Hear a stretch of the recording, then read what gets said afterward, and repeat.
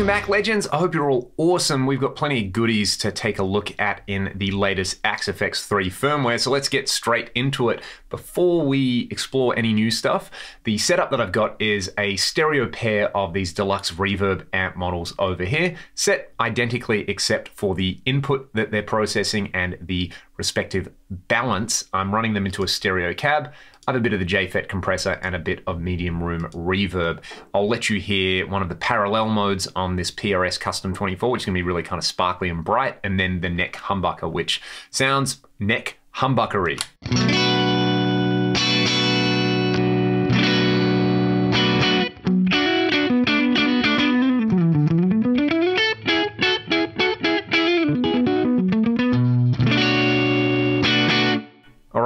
Is the starting point. The first thing that I want to play around with are some of the new flanger effect types. So let's drop a flanger into this preset. And when you go to type, look at this. There's 31 flanger types in here now, and several of these are based on iconic flanger sounds. You can see like CUDA flange, you know, that's based on the Hart Barracuda sound. There's stuff like Hemisflange, Harmoniflange, Spirit Flange, Starship Flanger. If you're kind of familiar with uses of flanging on guitar tracks, you're going to be familiar with these. I really like this uh, so kind of the Rush Hemispheres sound. I'll do this clean and then we'll hear it with a dirty amp.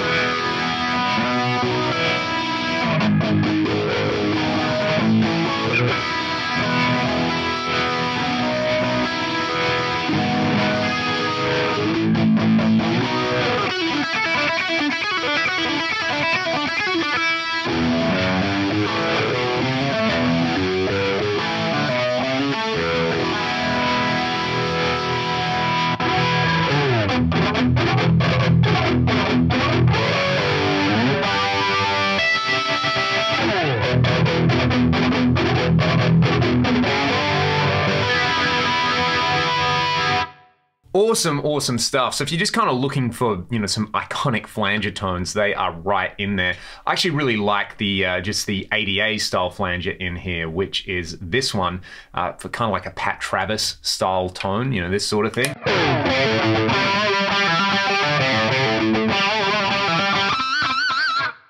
It's amazing how much variation you can get out of the humble flanger block. Going back to the clean sound, I actually really, really like, and it's kind of no surprise to anyone who knows what I like, but this 80s rack flanger sounds great placed after the cab for a big sparkly clean.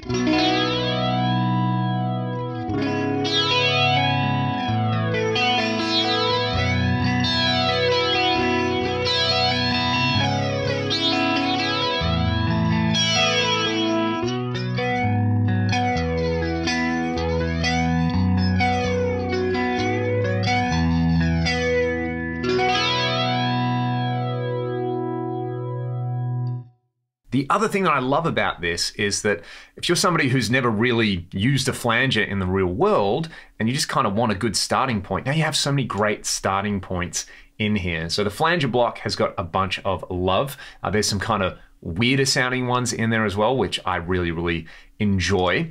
But another great flanger sound is actually living in the multi-tap delay block, and it is uh, this TC 1210. So this is kind of emulating the chorus mode of that. You can turn the feedback up if you want a true flanger thing. But this, you just put it on a clean sound. It's like instant 80s. It's so good.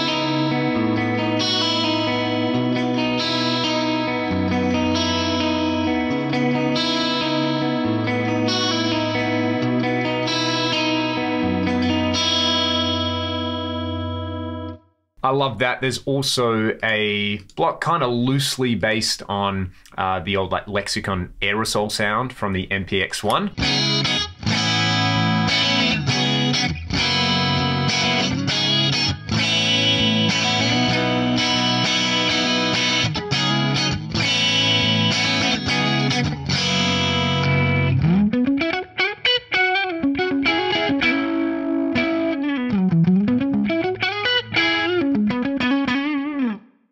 that one I really like on Dirty Sounds. This is using the uh, Mark IV model in here, and this one sounds thick.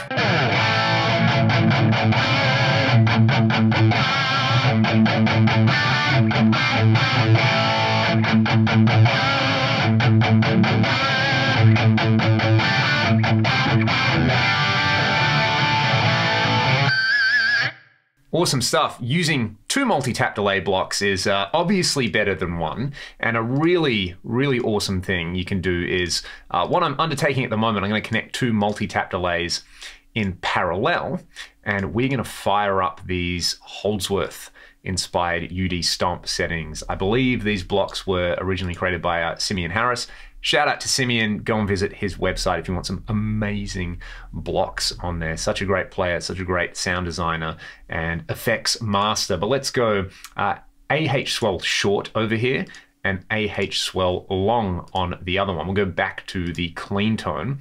I set the bypass mode on these to mute effects in. Uh, that is recommended if you're running in parallel, and I've just got the mix up at 100%. I'm gonna do some volume swells with this, and this sounds ridiculous ridiculously lush. It's so good.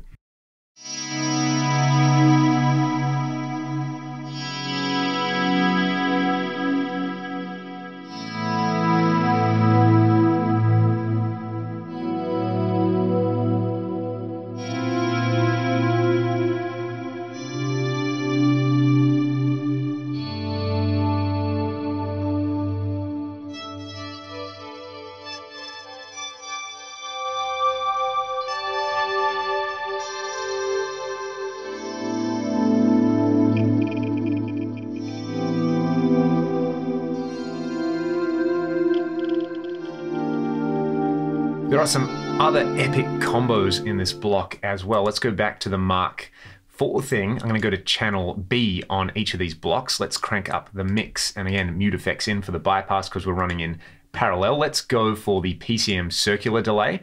Let's bring the input gain down to about 40%. And on channel B of the other multi-tap, let's use the PCM pan delay. Uh, that's circular on both of them. Uh, mix to 100%. Mute effects in. Let's bring the input gain down to a similar amount. If you like big greasy lead sounds, this is your ticket.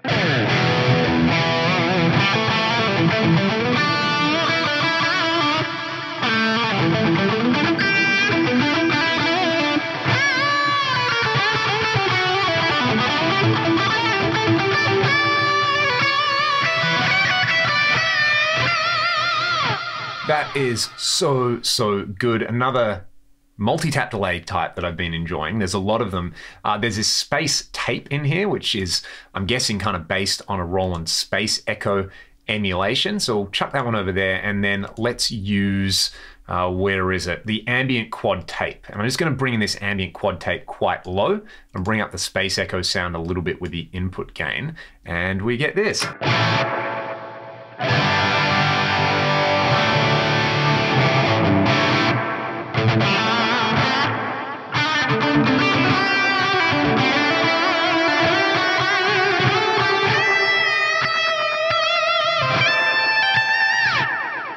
Lovely having that combination of really intense shorter delays with big sweeping diffused uh, kind of long delays in there. It's a really nice combo. Let's just bypass the multi-tap delays for now and let's add some plex delays because the plex delay in a similar manner to the multi-tap delay got a bunch of love and we're going to add two plex delays to get started just because you know just because we can so what you'll notice i'm going to do the old mix at 100 mute effects in on both of these. In fact, I'm just going to do this. I'm going to go edit. I'm going to copy this block so that I can paste it down here easily.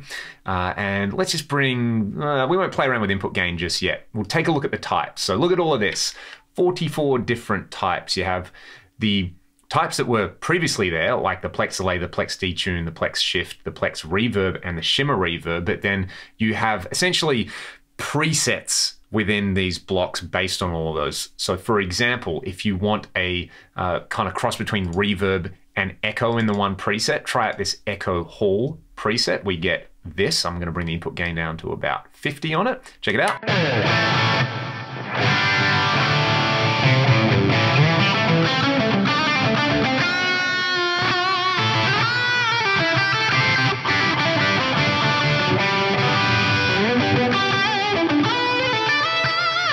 I might tweak the high cut in that one, bring it right down and bring the low cut up a little bit. And uh, that's a great all-in-one block. You know, if you just want to have a really simple preset, amp, cab, plex delay, the plex delay is going to bring you some echoes and some reverbs in there. Let's hear this.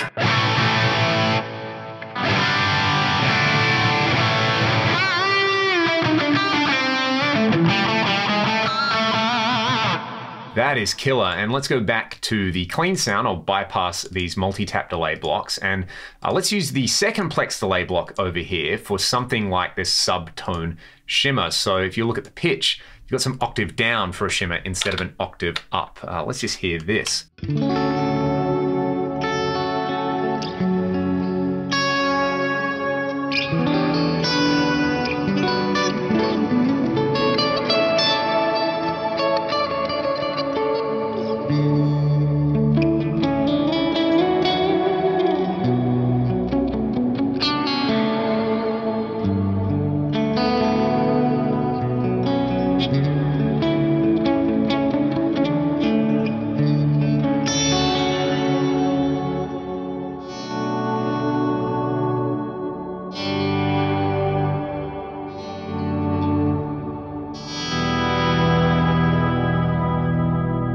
Then you've got really intense, sparkly shimmer reverbs like this scintillation preset. I really like this one with swells.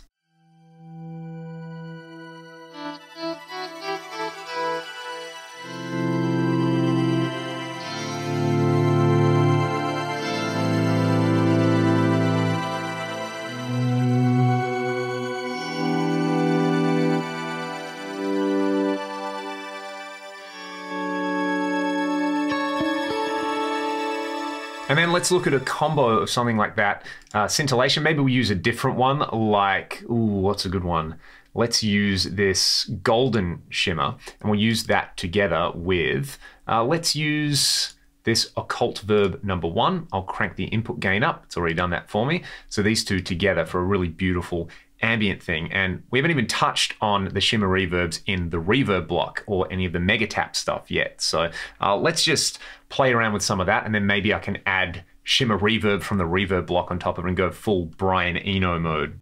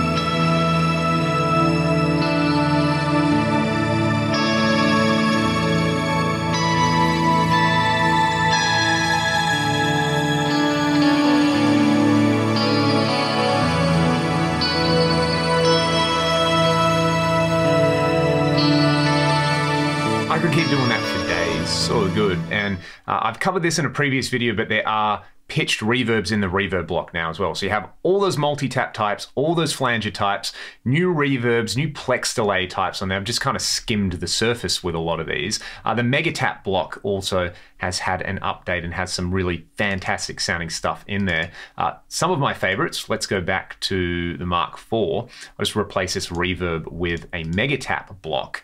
I looked at how you can bloom reverbs in one of my past videos using the Megatap. Uh, where is it? Here it is.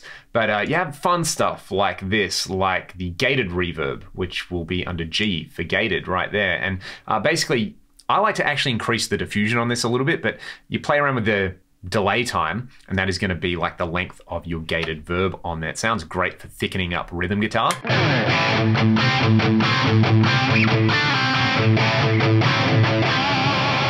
Awesome, right? You get that iconic gated reverb sound. I actually kind of like combining that with one of the new Plex types, which is called Detune Space 2. Bring the input gain right down on this. And what this kind of mimics to me is something like an old Roland or Yamaha rack mount reverb where maybe it wasn't super accurate, but it had character. So we'll hear that, then we'll hear it with a gated verb. So that's pretty fun. Let's hear it with gated reverb now.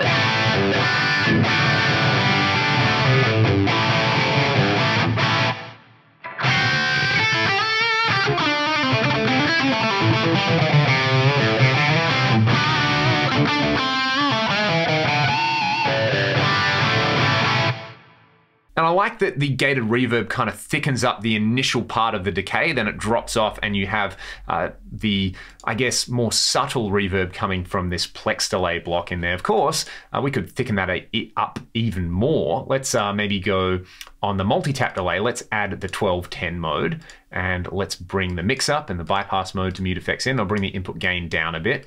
So this is going to provide some just kind of widening. Let's have a listen to that.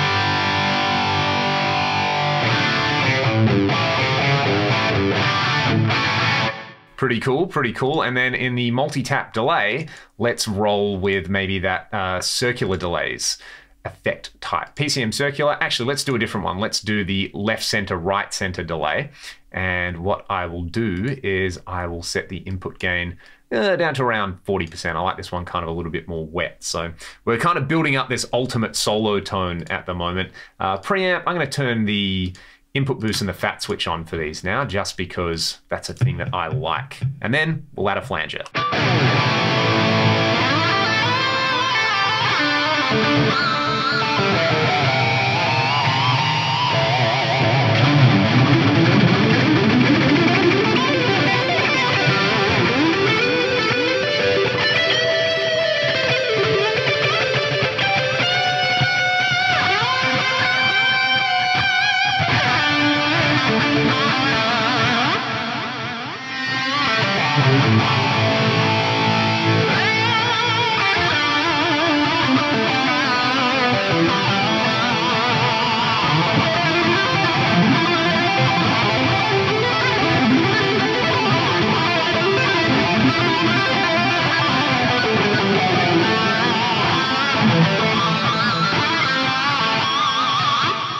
And that is way, way over the top. Uh, one way to mitigate that is, you know, we'll bring the mix down on the gated reverb. Just go a lot easier with all the effects on this. I'm using the input gain in the parallel blocks rather than the mix. And uh, yeah, just going a little bit more subtle with all of this gets you something that's still ridiculous, but not quite as ridiculous.